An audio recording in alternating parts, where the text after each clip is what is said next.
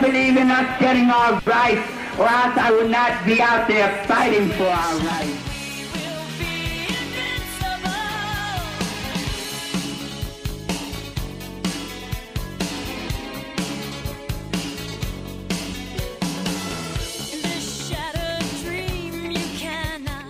my transgender community will understand. We have to stand up and speak for ourselves. We have to fight for ourselves. We saved their lives. We were the front line of the so-called 1969 rebellion of the Stonewall. Most of the kids here were alcoholics and people with AIDS.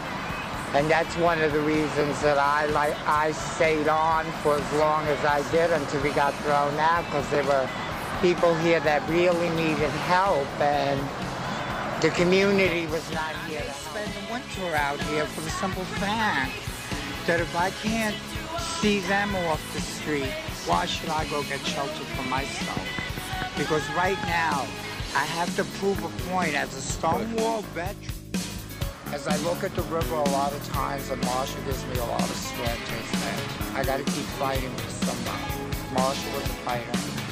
We were both fighters. I actually feel her spirit telling me, you gotta keep fighting, girl, because it's not time. My soldiers to fight hunger.